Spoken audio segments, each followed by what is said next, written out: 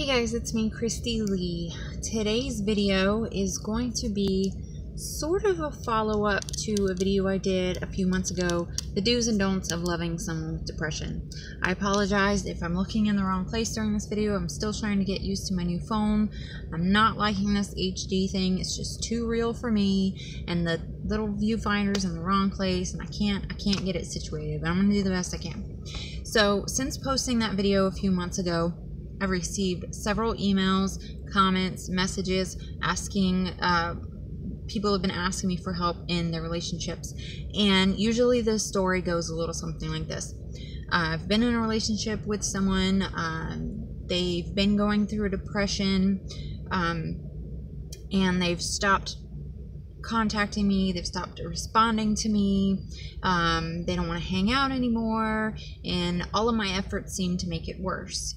In all of these cases, these people are worried that they are going to lose the person that they love to the depression because of something that they're doing. And so far, every single time, it has turned out to be the case that the person just didn't want to be in the relationship with them anymore and they didn't know how to tell them. So they would use excuses or they would use depression. And I'm not saying that they don't have depression, that's not what I'm saying. But what I'm saying is instead of them just being honest with them and saying, I don't think this relationship is working out for anymore for me anymore, they would say things like, I'm just going through something, I'm not sure what I want, I'm just feeling depressed, I just want to be alone. And come to find out, they're off seeing other people or you know they've moved on already but they they just can't be honest with them. They're they don't want to hurt their feelings or whatever have you. So i thought i would make a a little update to tell you this. Again i'm not an expert. I'm only speaking from my own personal experience. Um, as someone who does suffer from depression who has ruined relationships who has thought that uh, my depression was the cause of breakups when I have later learned that wanting to end the relationship has actually caused depression in the past. I wanted to do this video to hopefully help those of you out there that are facing a similar situation. You're in a relationship with someone, you know that they have depression, or they're telling you that they're going through depression, and you feel like they're withdrawing, they're pulling away, and you're afraid that you're going to lose them because of something that you're doing or not doing. I want you to be able to understand the difference between someone who is actively involved and in love and they want to stay in this relationship and someone who is ready to leave the relationship or is contemplating leaving the relationship and they just haven't found the courage to tell you or they just can't. They can't break it to you. So they're just trying to let you down easy by you know slowly breaking off communication or you know things like that. There's a big difference here. Now when someone has depression or is going through a depression they are going to withdraw. It's it's going to happen. But they're not going to withdraw so far that they're going to let you slip away. That's not going to happen. If they love you and they want to be in the relationship, you're going to be able to tell that because they're still going to respond to your text messages. Maybe not every one, maybe not every single day, but they're not going to go weeks at a time without responding to you. That's not going to happen because they're they're not going to want to lose you. They're going to make sure that you're not going anywhere. They're going to be engaged. They're going to miss you. They're going to still having have feelings for you. So they're going to respond to you. They're not going to fall off the face of the earth. Okay? And if they decide that they need some time alone, it may be a day alone, it may be two days alone, maybe three days. A week is going to be pushing it. I mean, if you're used to seeing each other every single day, I would say that a week is really going to be pushing it.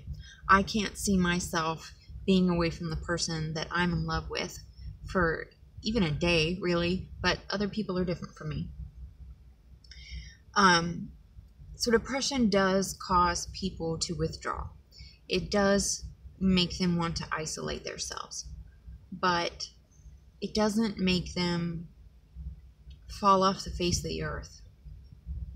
Um, so if you're in a relationship where someone has just stopped responding, they won't answer your phone calls, they won't text you back, they don't want you to come over anymore, um, chances are they're ready to move on and they just don't know how to tell you that.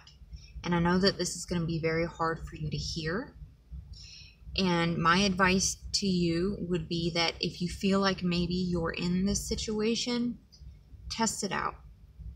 I'm not saying to run off and say, oh, she's done with me, and then go, you know, jump into a new relationship.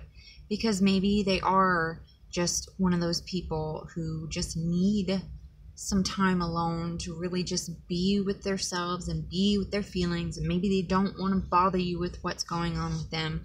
And maybe after a week you know they'll be feeling slightly better and they'll get in contact with you. So you don't want to mess up your future by jumping into a new relationship or going and sleeping with someone because you haven't heard from them in a few days.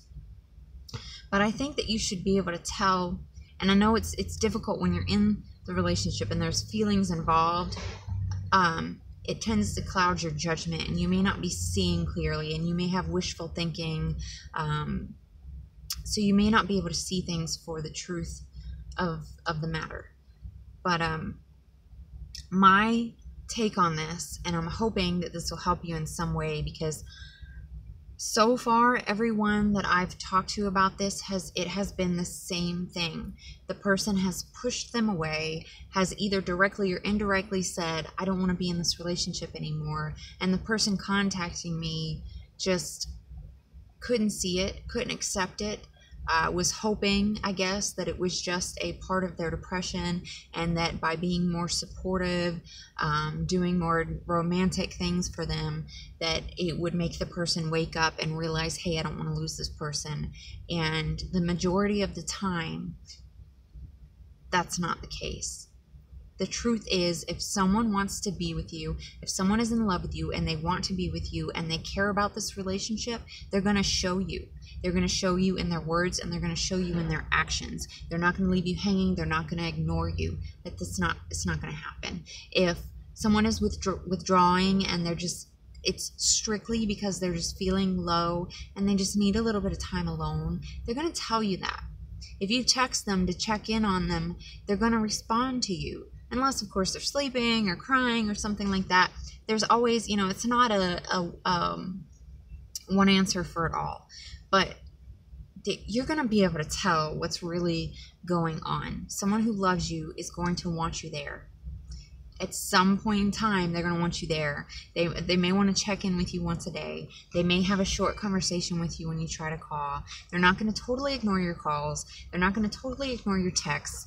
They're not going to start going out and seeing other people. So you need to pay attention to what's really going on. You need to, to listen to what they're saying and you need to pay attention to what they're not saying. Pay attention to both their words and their actions you need to take time to figure out what's actually going on. It's going to save you a lot of pain because you don't want to drag it out. If it's if it's if what really is going on is that the person is just trying to slowly break away from the relationship, you don't want to pull yourself through the, the fire for any longer than you have. It's going to be painful, but the quicker you spot what's really going on and you start to take care of yourself and start letting go, the faster you're going to, you know, the quicker you can begin to heal from it.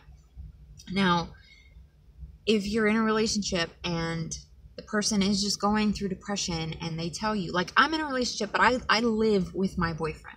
We live together. So when i withdraw that just means that maybe i don't spend as much time in the same room. You know he's in the bedroom watching tv i'm in the living room watching youtube on my phone or maybe you know things that he usually that he does that usually makes me smile or laugh i can't i just can't muster up the strength to it's just not in me to be silly at that point in time but I'm not running off and disappearing for three, four days at a time and then saying, uh, you know, I'm depressed. I just need some time away from you.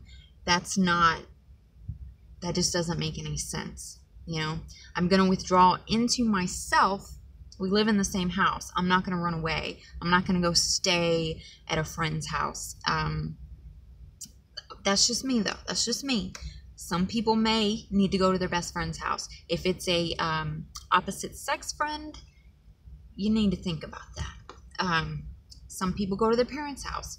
Um, if you don't live with the person, then yeah, maybe they just need a day or two. But I'm telling you, if they care about the relationship, they're not going to let you slip away. They're going to, you're going to be able to tell. You should be able to tell when someone still cares and they still want to be with you. And, you know, you don't want to see the truth of the matter when someone maybe doesn't want to be with you anymore and they're trying to slowly drift away from you, but you need to because I'm telling you, you're just going to drag it out. The pain's going to be so much worse. You're going to feel worse about yourself if you're chasing after something that just is over. So I hope this video helps you. I'm sorry if you're going through this, but just pay attention. You, if you really look at it, you'll know what's really happening. So, all right, that's it for this video, guys. Thank you for watching, and I will see you next time. Bye.